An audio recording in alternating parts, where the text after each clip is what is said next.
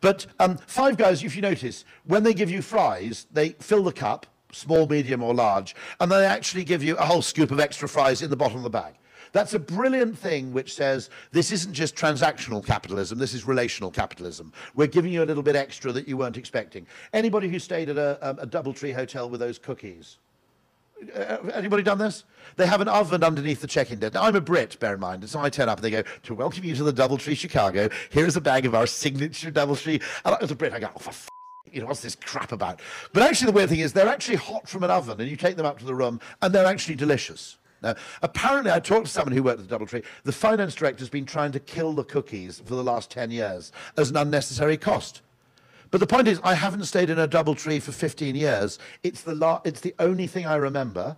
And if my PA ever came to me and said, Do you want to stay at the Hilton Courtyard Garden or whatever it is, or do you want to stay at the Doubletree? 15 years later, I go, Cookies, Doubletree. Okay?